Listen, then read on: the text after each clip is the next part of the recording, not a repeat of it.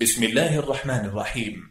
المكتبة الصوتية لمعالي الشيخ الدكتور صالح بن فوزان الفوزان. شرح كتاب الملخص الفقهي من الفقه الإسلامي للدكتور صالح بن فوزان الفوزان. الدرس الرابع والتسعون. بسم الله الرحمن الرحيم. الحمد لله رب العالمين. والصلاة والسلام على نبينا محمد وعلى آله وأصحابه ومن اهتدى بهداه. وبعد. أيها المستمعون الكرام السلام عليكم ورحمة الله وبركاته.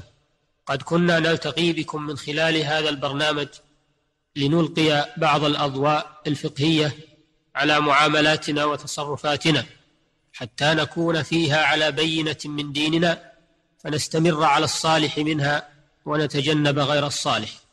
وإننا في هذه الحلقة إن شاء الله سنتناول موضوع الحوالة لكثرة وقوعها في التعامل التجاري وغيره. فالحوالة لغة مشتقة من التحول لأنها تحول الدين من ذمة إلى ذمة أخرى. ومن ثم عرفها الفقهاء بأنها نقل دين من ذمة إلى ذمة أخرى. وهي ثابتة بدليل السنة والإجماع.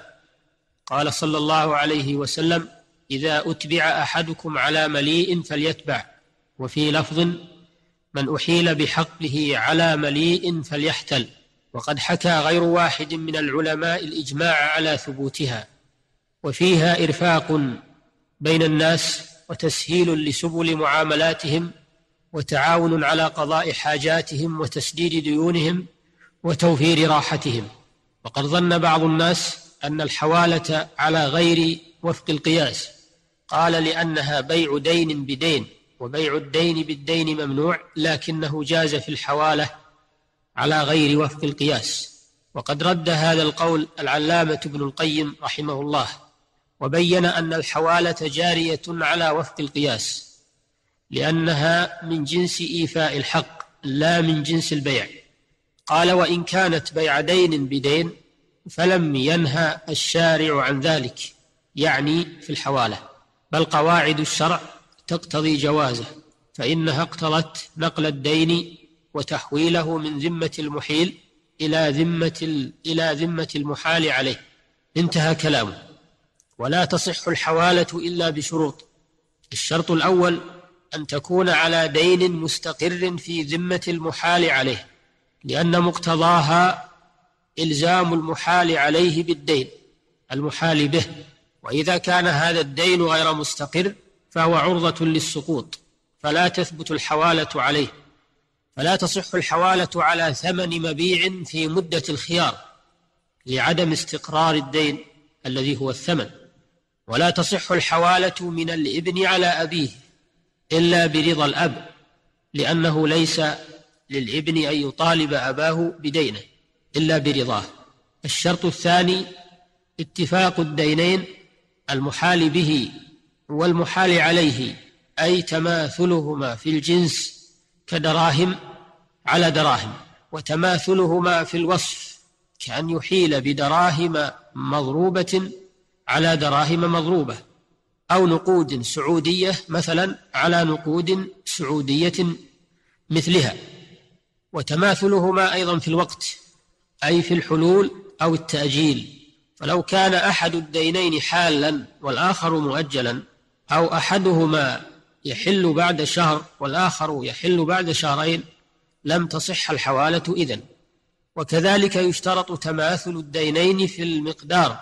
لا تصح الحوالة بمئة مثلا على تسعين لأنها عقد إرفاق كالقرض.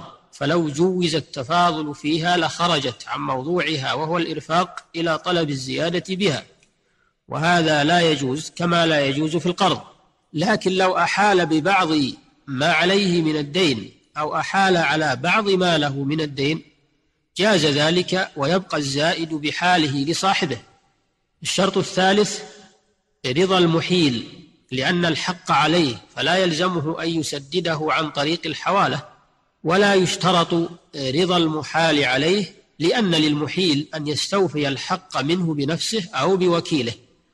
وقد أقام المحتال مقام نفسه في القبض فلزم المحال عليه الدفع إليه.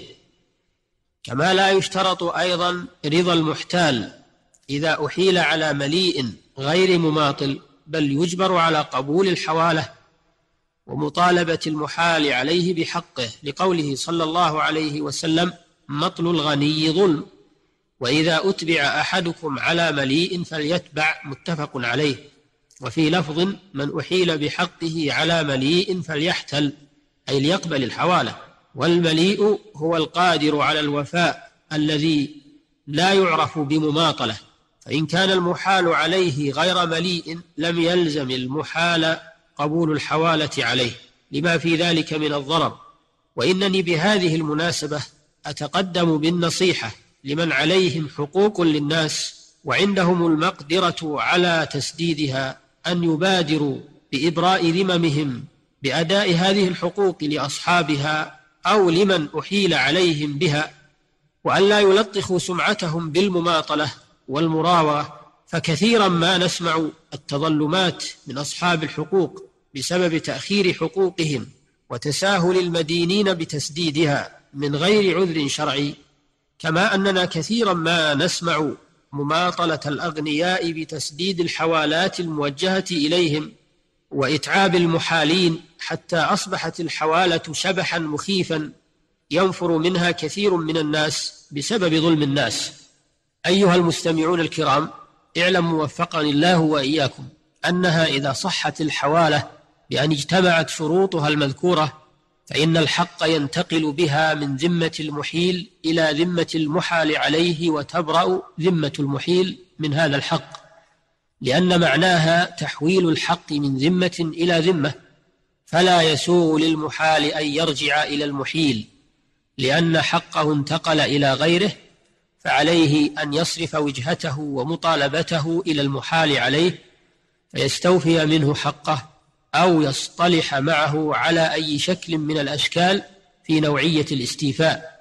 فالحوالة الشرعية وفاء صحيح وطريق مشروع وفيها تيسير على الناس إذا استغلت استغلالا صحيحا واستعملت استعمالا حسنا ولم يكن فيها مخادعة ولا مراوغة. هذا ونسأل الله أن يوفق المسلمين للتعامل على منهج الشريعة ومقتضى العدالة. وإلى الحلقة القادمة بإذن الله.